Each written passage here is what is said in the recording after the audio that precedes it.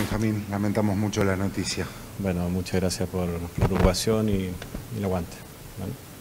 Eh, aquella vez cuando hablamos, una de las cosas que me decías es que, tu hijo te enseñó a laburar, a ir siempre para adelante y, estás acá, y sanando. Sí, por supuesto.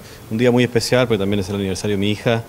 Eh, pero bueno, nada que mejor que subirse al escenario, un lugar que me, gusta, que me hace volar y, hacer un homenaje, ¿verdad?, a las personas que uno quiere.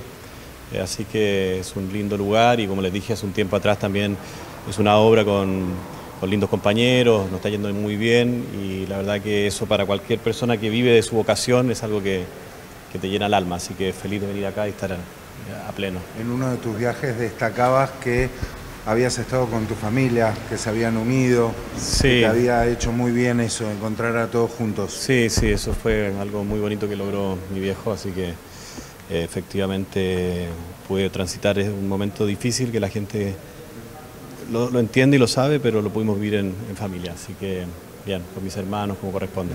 Benja, última, eso lo decías recién, es un día muy especial, es el aniversario de Blanquita y, veo tus posteos que penetran mucho en la gente, en todos, nos incluimos, que leemos y, quedamos ahí. Eh, solo si, si, querés compartir, decir que creo que ponías algo así como que tu idea es escribir un libro de cosas que, que, que, les sirva a, las demás personas. Sí, cerré, cerré un ciclo, si se puede decir, de alguna manera.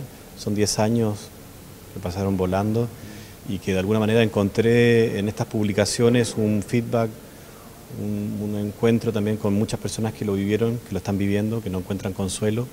Y el libro tiene que ver un poco con lo mismo, con, la compañía, con una especie de referencia de algo tan doloroso que, cuesta ponerle palabras.